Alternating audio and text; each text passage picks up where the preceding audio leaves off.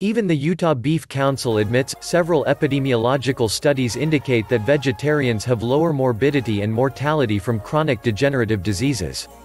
Today, vegetarians only make up about 2% of the population, but every day more and more people give up eating red meat or try their first bite of tofu. Aside from ethics, what are the main reasons people are turning away from meat? Health and the ecology. Lower rates of disease amongst vegetarians. Hundreds of different studies concur, showing that vegetarians who eat balanced diets have lower rates of coronary artery disease, hypertension, obesity, and certain cancers. Registered dietitian Winston Craig says that meat eating costs Americans somewhere between $30 to $60 billion per year in medical expenses for hypertension, heart disease, cancer, diabetes, gallstones, obesity, and food-borne illnesses associated with meat. Craig says that a vegetarian diet is associated with lower cholesterol, lower blood pressure, and less obesity. In 1997, the World Cancer Research Fund recommended a vegetarian diet for reducing the risk of cancer. Lifelong vegetarians have 24% less heart disease, while vegans have an astounding 57% less. A comprehensive study of a vegetarian religious group, the Seventh-day Adventists, found that they had half the rate of high blood pressure and diabetes, half the rate of colon cancer, and two-thirds the rate of arthritis and prostate cancer as other groups 2001. Furthermore, Cornell University reported that eating less meat did more to reduce osteoporosis than supplementing your diet with calcium. Do you have to be completely vegetarian to benefit? In 1999, a meta-analysis of several vegetarian and vegan mortality studies was conducted. The results of these studies were compared together and reanalyzed.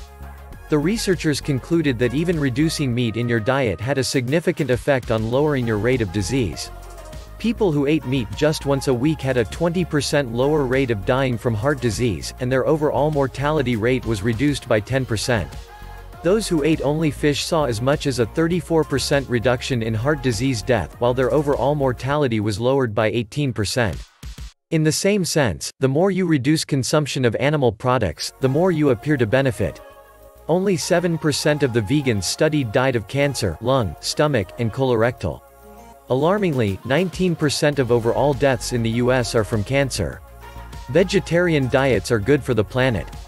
Every year, meat eaters contribute to the cattle farming industry. This industry uses farm lands that could be producing human food to make grain for cows. As most people know, cows produce large amounts of environmentally toxic methane gas. Raising cows also uses precious water resources. Vegetarianism and the rainforest. What you may not know though is that eating meat also contributes to the destruction of the rainforests. In an effort to make a cheaper Big Mac and Whopper, companies are growing cattle in Central America, where labor and other costs are lower. Eager Central Americans are slashing and burning their native rainforests to make room for the beef industry. Vegetarianism and carbon dioxide emission. Estimates show that a vegetarian diet saves 1.5 tons of greenhouse gas per person per year. The American Journal of Clinical Nutrition reports that producing 1 calorie of animal protein requires 10 times the fossil fuel as producing 1 calorie of plant protein. Wow!